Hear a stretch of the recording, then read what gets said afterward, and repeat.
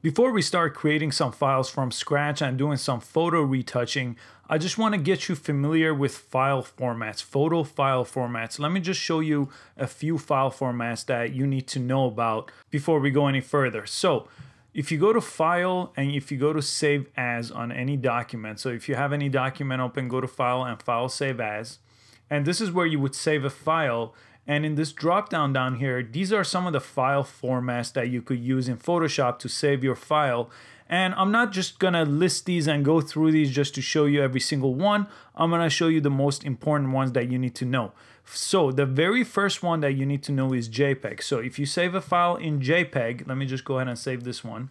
This is the JPEG option that you get, so maximum quality. I usually try to get the maximum quality, and this is the file size. So if the file size is too big, you could just decrease the quality but let's just say for the sake of this video we'll go with maximum quality i usually do that file size usually doesn't seem to be a problem unless i save for a website and that's a whole different thing and i'll show you that at a different time so let me just press ok and i'm just going to minimize this and go to my desktop here and uh, this is the file that it just saved right here jpeg jpeg is the first file i wanted to show you and as you know most cameras nowadays, including your phone, take pictures in JPEG. That's the compression of the image. So it looks like a very sharp, good quality image. The compression is very solid, and JPEG is most likely the image that you're gonna come across if you're taking uh, your picture from a camera or a phone. Another one is RAW, which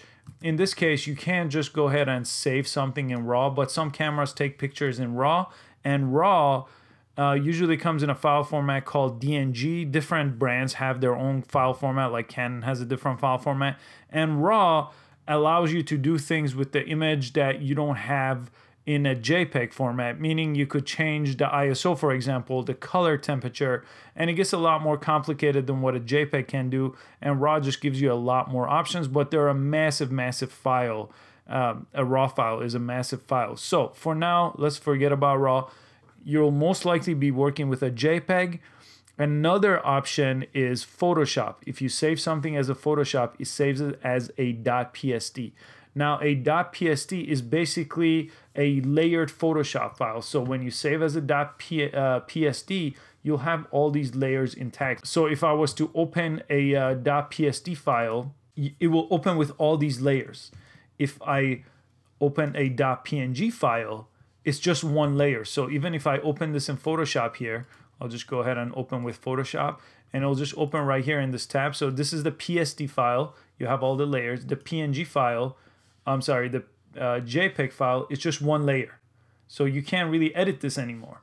So that's the difference between JPEG and the PSD file. So for most case use, you'll start with a JPEG and finish with a JPEG.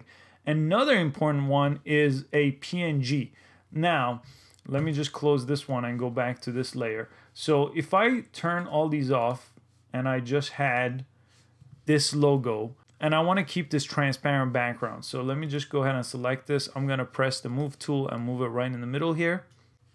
So if I was to save this as a JPEG, so if I just save this as a JPEG here, I'll just rename it so it doesn't replace the other file.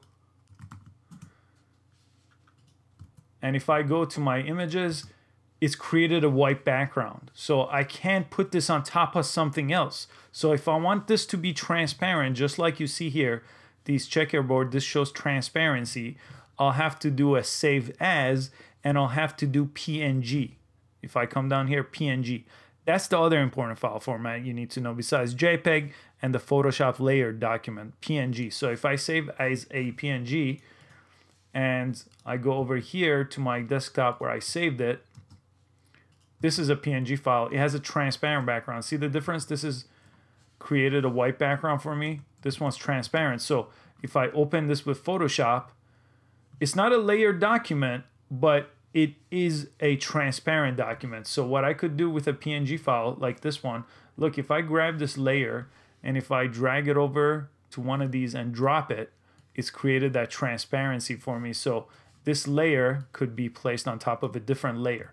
If I did this with a uh, JPEG, open with Photoshop, and if I click this layer and I bring it on top of this one and drop it, you see the white background is there. So if I don't want this white background, I need to save it as a PNG. Again, save as the three file formats you need to know are Photoshop file for layered documents. This is how you save your project basically, so you could come and edit it. JPEG for exporting it, and most of your pictures are going to be JPEG to start editing with and PNG. That's the transparent background. Some of the other ones you might come across are TIFF files or GIF files, but just for simplicity, PNG, JPEG, and Photoshop files are the three to get you started with file formats in Photoshop. The next video, let's start doing some photo editing and photo retouching.